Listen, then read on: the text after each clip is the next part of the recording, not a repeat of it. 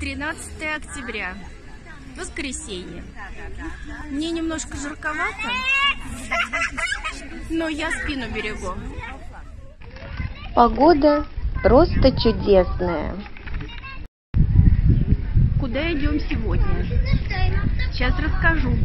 Сегодня выходной, поэтому не будем никуда спешить и спокойно пройдемся по улицам осенней Варны, побываем на фестивале уличной еды. Потом прогуляемся по морскому парку и посидим в минеральном бассейне. Вы со мной?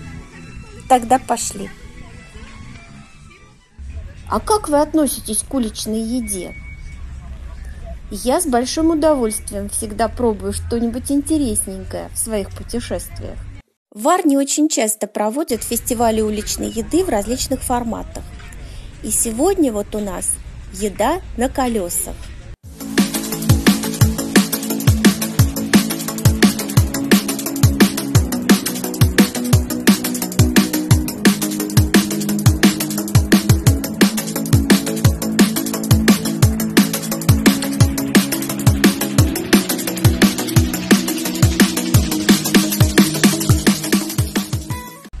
Вот такие передвижные фургончики, в которых можно и готовить еду, и прямо с них ее продавать. Очень популярны для Болгарии. Здесь проводится много различных зрелищных мероприятий и на лоне природы, и в небольших городах и селах. А, и вот на такие мероприятия приезжает очень много людей с различных концов страны. А, и, конечно, они с удовольствием покупают еду, которая прямо вот с пылу жару здесь приготовлена. Это вафля?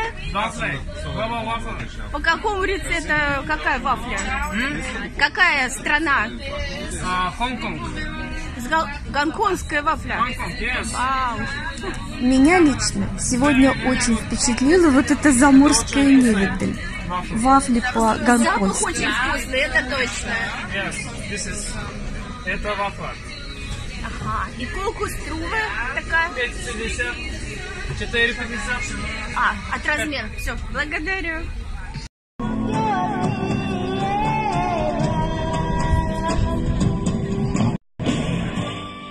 И этот мальчишка уже несколько дней поет перед входом в парк. Он собирает деньги для участия в конкурсе. Ну и как вы думаете, соберет?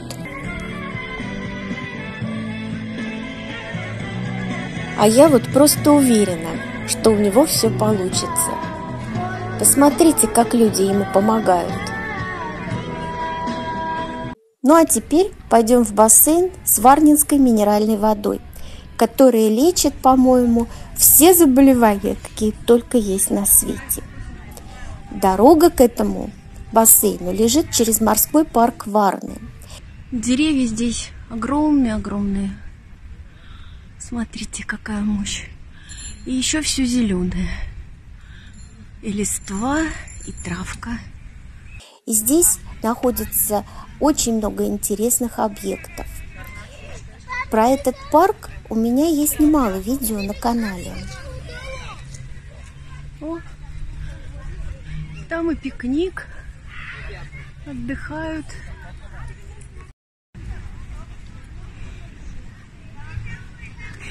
Интересно.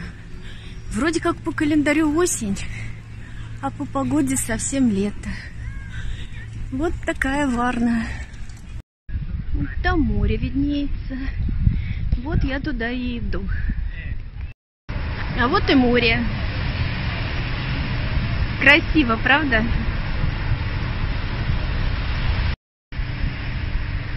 Волна к волне. И белый парусник.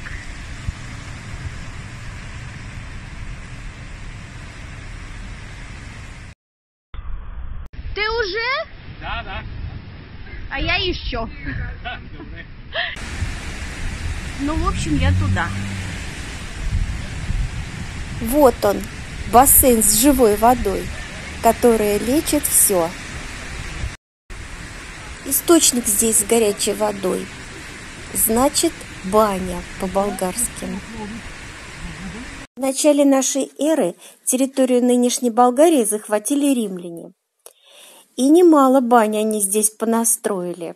С тех пор уже исчез Рим, разрушились древние бани. А вот обычай ходить в баню не только для того, чтобы помыться и оздоровиться, но и пообщаться остался.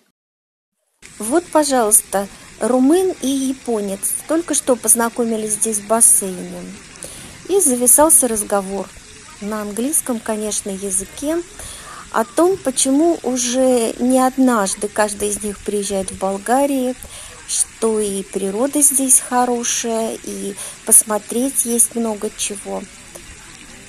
Я тоже присоединилась к разговору, подсказала японцу, какие еще интересные места можно посетить. Очень интересно было услышать о впечатлениях японца от болгарской кухни. А это я уже разговариваю с молдаванами. С ними я тоже только что познакомилась. Дядя и его племянник, племянник с девушкой. Э, говорят, что живут в молдавском селе недалеко от Румынии, имеют собственное хозяйство и достаточно часто приезжают в летний сезон на море, именно в Болгарию. Румыния ближе, но там море холоднее и дороже все. И вот они на машине приезжают сюда к знакомым, проводят 3-4 дня, а потом опять работать. Вот такой у нас волшебный бассейн. Я здесь не только свою спину лечу и удовольствие получаю, а еще и материал для книги собираю. Душа не выдержала, зашла и купила все-таки я себе вот эту вафлю экзотическую.